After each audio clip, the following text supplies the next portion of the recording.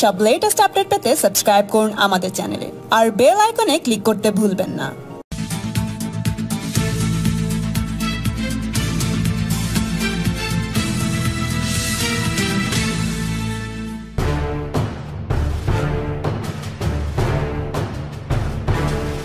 ইঙ্গিত আগেই মিলেছিল।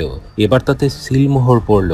আগামী বৃহস্পতিবার, অর্থাৎ নয় জুলাই বিকাল পাঁচটা থেকে রাজ্যের সব কন্টেনমেন্ট জোনে ফের করা লকডাউনের ঘোষণা করল নবান্ন। এদিন নবান্নের তরফে স্বরাষ্ট্র সচিব আলাপন বন্দ্যোপাধ্যায় একটি প্রেস বিজ্ঞপ্তি দিয়ে জানান, বৃহস্পতিবার থেকে কন্টেনমেন্ট জোনে লকডাউন কার্যকর হবে। তবে আগের মতো তিনটি জোনে ভাগ করে নয়, এবার শুধু কন্টেনমেন্ট জোনেই বাফার জোন সহ লকডাউন চলবে। রাজ্যে বাড়তে থাকা করোনা সংক্রমণ ঠেকাতে মঙ্গলবার বৈঠকে এর সিদ্ধান্ত নেওয়া হলো। কি কি বন্ধ থাকবে এই সমস্ত এলাকায়?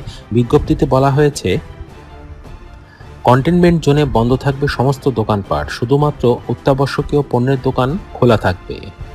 কন্টেনমেন্ট জোনের আওতায় যে সমস্ত সরকারি ও বেসরকারি অফিস পড়েছে, তাও নতুন করে বন্ধ করে দেওয়ার সিদ্ধান্ত নেওয়া হয়েছে। অর্থাৎ এ সমস্ত অফিসে আপাতত কর্মীদের আসা নিষেধ। কন্টেনমেন্ট জোনে চলবে না কোনো যানবাহন। বন্ধ থাকবে সব ধরনের ব্যবসা ও কারখানা। কোনো ধর্মীয় অনুষ্ঠান কিংবা অকারণ আড্ডা দেওয়ার জন্য কন্টেনমেন্ট জোনে একসঙ্গে অনেকের জমায়েত করা যাবে না। এই সমস্ত এলাকায় বাসিন্দাদের গতিবিধির উপর নজরদারি চালানো হবে। তাদের কোনো সরকারি বা বেসরকারি অফিসে যাওয়ার উপরেও নিষেধাজ্ঞা জারি করা হয়েছে। কন্টেনমেন্ট জোনের বাসিন্দাদের বাড়িতে যাতে খাদ্য সামগ্রী পৌঁছে দেওয়া যায়, সেই ব্যবস্থা করার চেষ্টা চলছে। তার জন্য স্থানীয় প্রশাসনের সঙ্গে আলোচনা করা হয়েছে। কখন কীভাবে কন্টেনমেন্ট জোনের সংখ্যা বাড়ানো হবে, তাও ঠিক করবে প্রশাসন। রাজ্য সরকারের এগিয়ে বাংলা ওয়েবসাইটে কন্টেনমেন্ট জোনের বিস্তারিত তালিকা রয়েছে।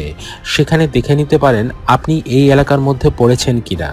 নিচে ডেসক্রিপশন বক্সে এই কন্টেনমেন্ট জোনের লিংক দেওয়া হলো।